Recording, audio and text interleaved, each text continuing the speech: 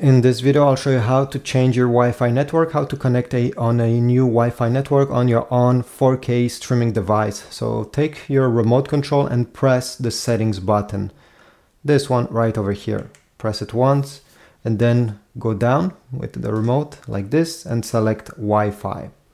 Once you selected Wi-Fi, make sure it's turned on. If you're already connected to a Wi-Fi network and you want to disconnect, you simply need to connect it go all the way down, select forget this network, and you're gonna disconnect yourself from that network.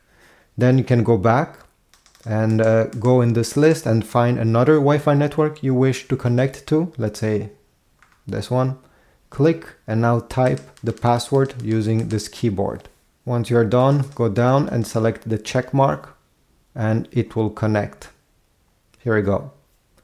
So this is about it. I hope my video was helpful. If so, please leave a like, subscribe, comment down below. Just take five seconds, write anything you want, honestly.